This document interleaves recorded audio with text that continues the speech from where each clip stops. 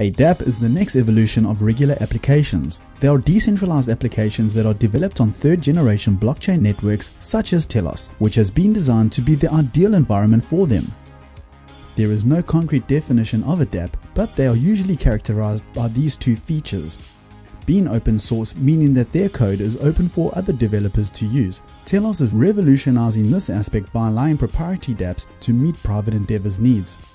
Being decentralized, all the data is processed within the blockchain and stored on its public ledger. This includes that the actions performed within the application are executed through smart contracts. dApps can be very diverse, but the most common categories are decentralized exchanges, wallets, games, gambling, marketplaces, and collectibles.